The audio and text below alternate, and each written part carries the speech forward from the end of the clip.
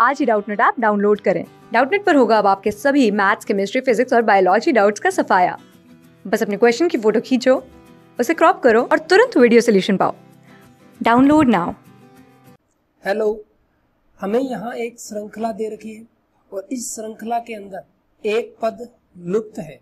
तो हमारा प्रश्न यही है कि श्रृंखला के अंदर इस लुप्त पद का मान ज्ञात करो।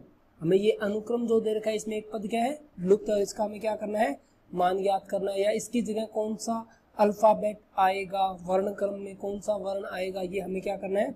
ज्ञात करना है। सबसे पहले हम हमारे अल्फ़ाबेट को ही लिख लेते हैं। ये है B E I L P और यहाँ एक जो पद है, यहाँ जो अल्फ़ाबेट आएगा, वो हमारा क्या है? लुप्त पद है। तो ये लुप्त पद हमें क्या करना है? ज्ञात करना है। सबसे पहले मैं इन्हें अल्फ़ाबेट नंबर में अरेंज कर लेता हूँ। जैसे बी का अल्फ़ाबेट नंबर होता है दो ई e का होता है पाँच आई का होता है नौ एल का होता है बारह और पी का क्या होता है सोलह।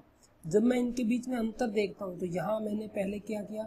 तीन प्लस किया, उसके बाद चार प्लस किया, उसके बाद फिर तीन प्लस किया, उसके बाद फिर चार प्लस किया। तो यहाँ एक लगातार श्रृंखला बन रही है। पहले तीन प्लस फिर चार प्लस फिर तीन प्लस फिर चार प्लस तो यहाँ अगर मैं बात करूँ तो यहाँ मैं कितने प्लस करूँगा? तीन। तो सोलह में जब अपने तीन जोड़ते हैं तो हमारा क्या आएगा?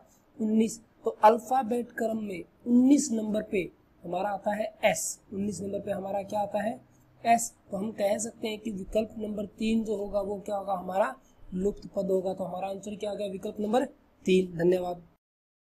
क्लास सिक्स से ट्वेल्थ से लेके NEET I I T JEE mains और एडवांस के लेवल तक। दस मिलियन से ज़्यादा स्टूडेंट्स का भरोसा। आज ही डाउनलोड करें डाउट नेट आप या व्हाट्सअप कीजिए अपने डाउट्स आठ चार सौ चार सौ चार सौ पर।